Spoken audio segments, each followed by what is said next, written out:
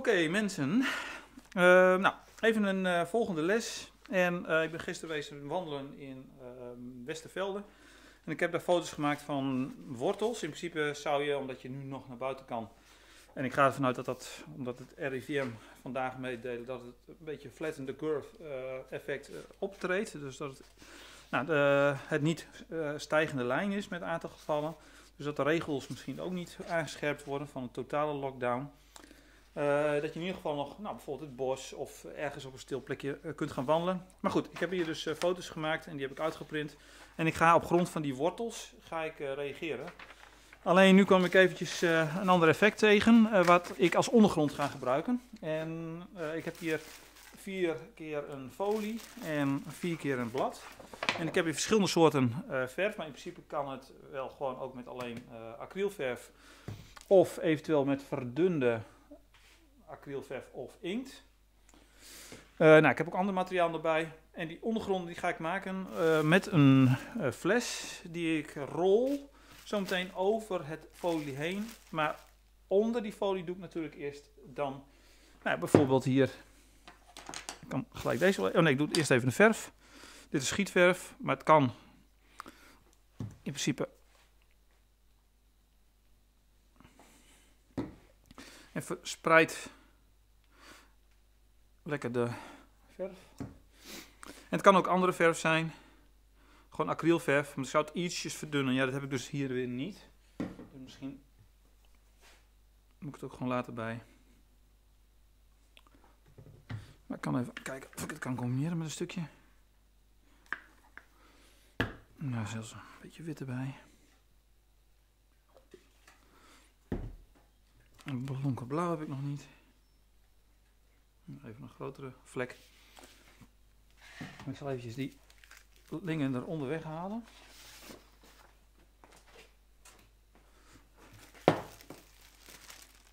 En ik leg nu de folie hierop. Een beetje een klein stukje zie ik wel. Nou, dat is dan jammer. En ik ga over die folie heen wrijven.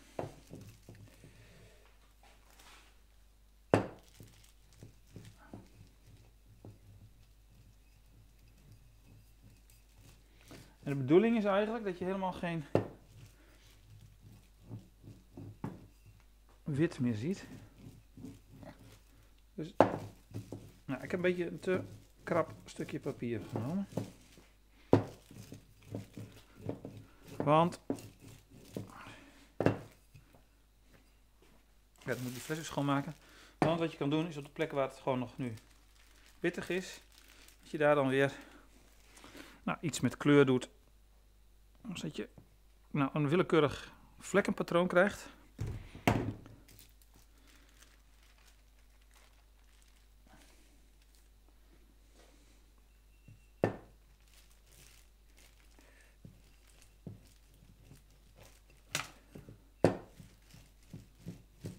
En dit wilde ik als ondergrond gebruiken voor die boomstammen.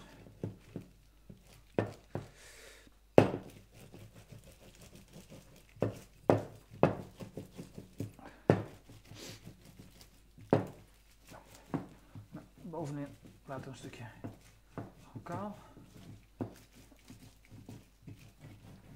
Nou, af en toe wat wit tussendoor. Is ook niet heel erg. Moet ik even de fles weer schoonmaken. En dit laat ik dus drogen, dus zometeen ga ik dan op dit soort ondergronden. Ga ik verder. Maar je ziet eigenlijk betreft een mooi willekeurig vlekkenspel. Waar dan zometeen weer op gereageerd wordt.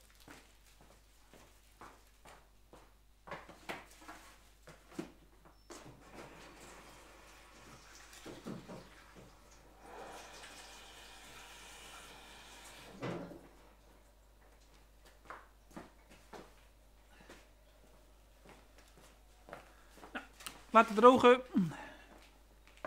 En de volgende. En die is dus met, doe ik even met inkt.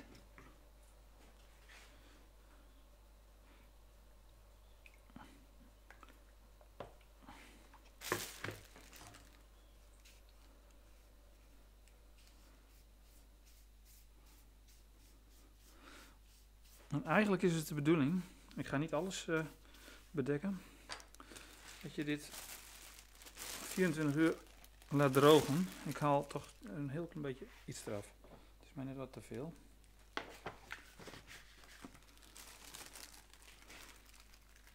Ook hier.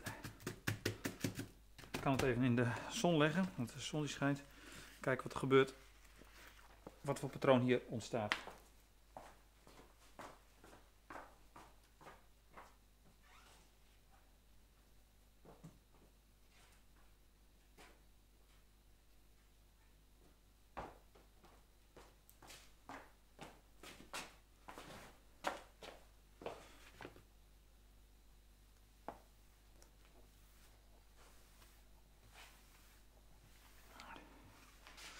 Niet dat iedereen zo'n lekkere ruimte heeft om dit soort lekker knoeiwerk te doen.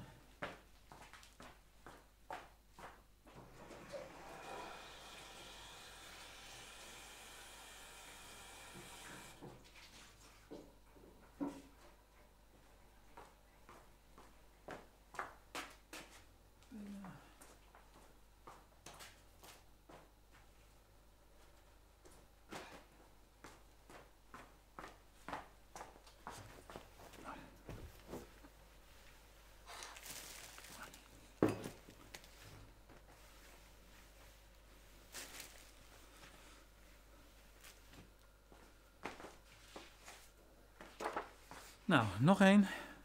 Eens kijken of ecoline ook een leuk effect geeft. Met al die verschillende kleurtjes.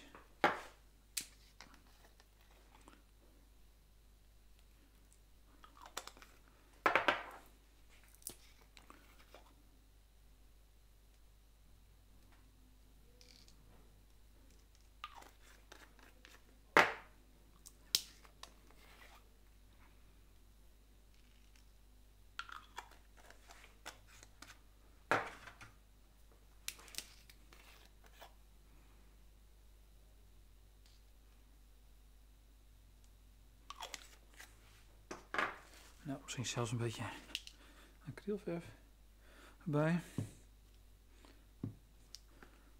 Deze even weg, dus. Maestro, ga dan niet in de... Ja, kom. Even hierheen.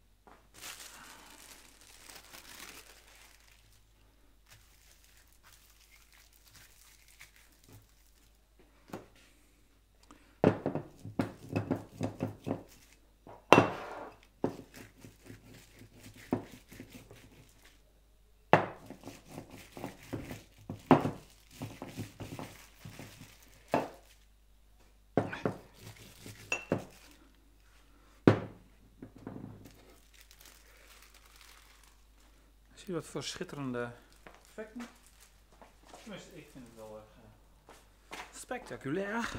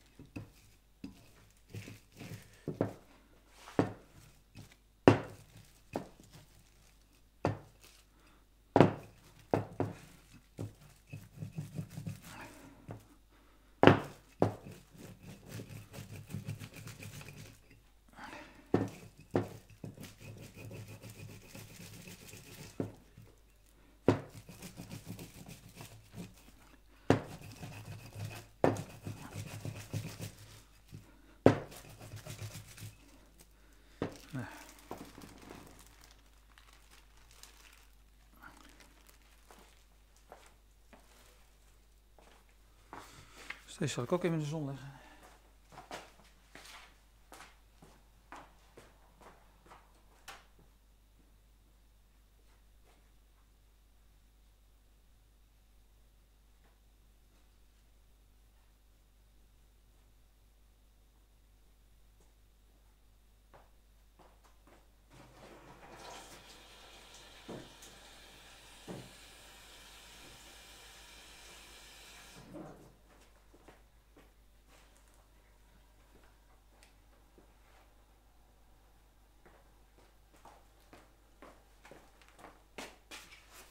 De laatste. Ook hier weer. Eens kijken of ik een beetje een andere manier van reageren. Of ondergrond.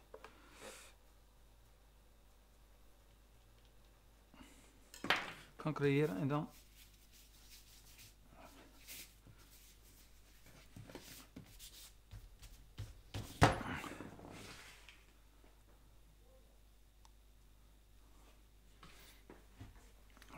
Even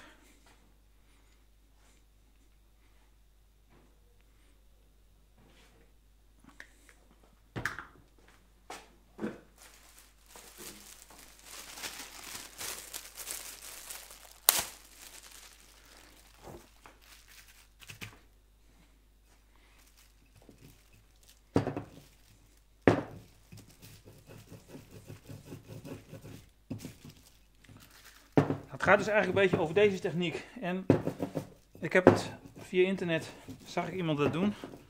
En die bedekte het veel meer. Dus die ging elke keer weer eronder en dan ging hij die witte stukken opvullen. En daarna heeft hij een heleboel, als het gedroogd was, eh, ja, ging hij eh, met schablonen werken. Waardoor je, nou ja, een cirkel. En dan kreeg je dit effect dus in die cirkel.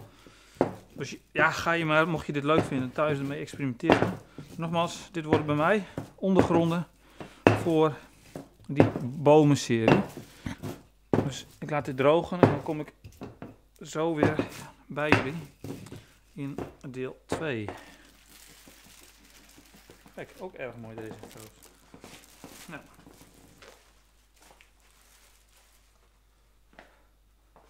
Ja, mooi. Zal het even laten zien, dichtbij, wat het effect is. Je ziet schitterende, nou niet gecontroleerde ondergronden. Oké, dit was deel 1. Heel snelle Jelle.